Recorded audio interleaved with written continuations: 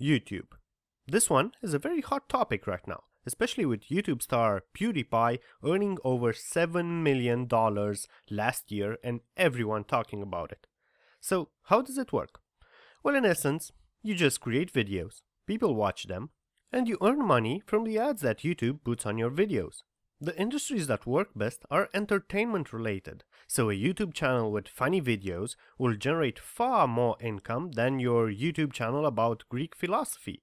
However, do not neglect non-entertainment niches because there are other ways of monetizing your YouTube channel besides ads, like sponsorships from brands who are interested in getting their products in front of your audience or affiliate links where you get a commission on each sale made by people who use your link to make a purchase.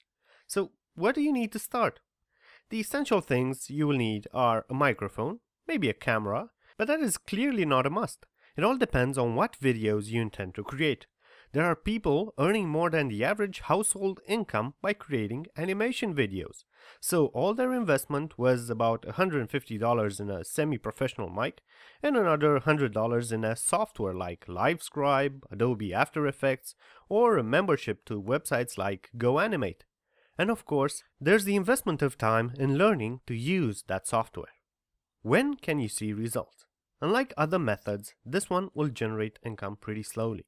Most successful YouTubers say that their earnings became a job replacement after months of intense work, some saying they reached satisfying earnings after close to a year of creating constant YouTube videos. As far as what are the potential earnings, as I said from the start, the potential is millions a year.